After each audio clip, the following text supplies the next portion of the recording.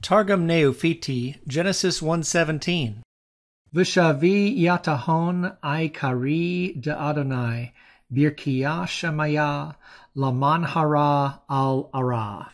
And we go back to the beginning. This is conjunction and the sheen vav yod verbal root.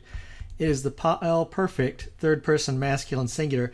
And we know it's pa'el not because there is a pa'al in Targum Neophiti, but we see in Onkelos an opposition and meaning between pa'al and pa'el, and this suits that. This is he put or placed, kind of like the same verbal root in Hebrew.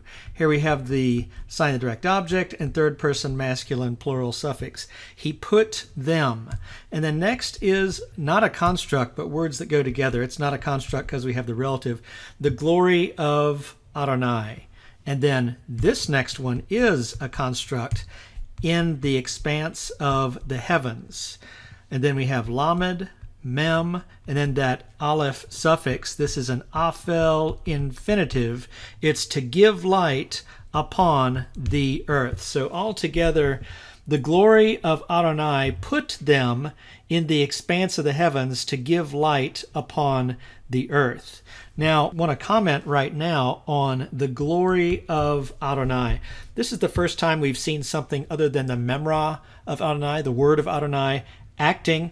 We're going to see the glory of Adonai show up again starting in Genesis 128. But it is interesting that it's not memra here, where, of course, in Onkelos it is only Adonai.